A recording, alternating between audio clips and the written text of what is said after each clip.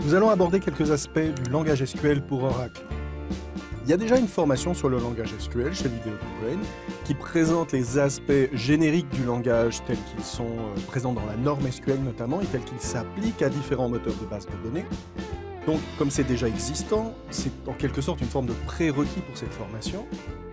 Si vous voulez travailler avec Oracle, vous connaissez déjà les bases du langage SQL et puis ensuite, eh bien, il y a quelques subtilités propres à Oracle que nous allons découvrir.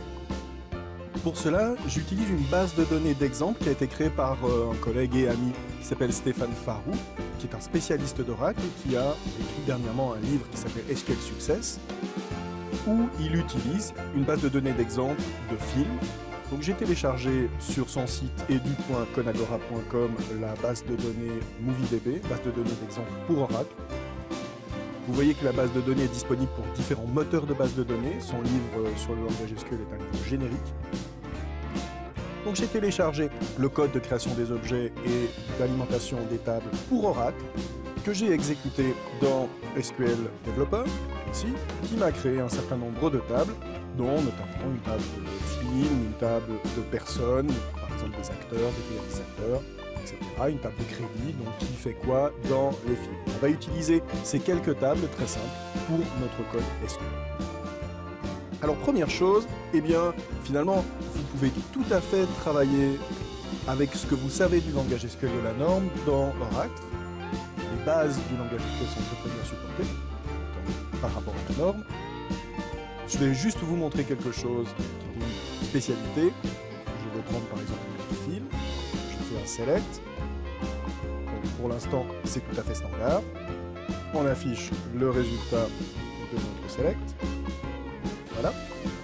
Et puis, nous allons utiliser une concaténation. Je vais juste vous montrer l'opérateur de concaténation entre, par exemple, le titre et le pays. Donc, qui sont l'un un varchar et l'autre un char, des chaînes de caractères. Eh bien, comment est-ce qu'on va faire une concaténation? C'est-à-dire comment est-ce qu'on va récupérer en une seule colonne ces deux colonnes, mises l'une à côté de l'autre, si vous voulez. Eh bien, nous allons utiliser l'opérateur de concaténation qui, en Oracle, n'est pas le plus, comme dans certains autres moteurs, mais qui est une double barre verticale. Là, par exemple, je concatène titre avec cette double barre verticale, avec un espace, de nouveau une double barre verticale, pour faire la concaténation entre ces trois parties, le titre, un espace et le pays.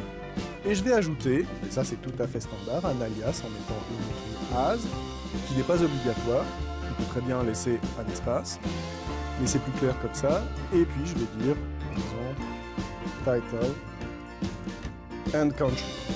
Quelque chose d'un peu propre, ici.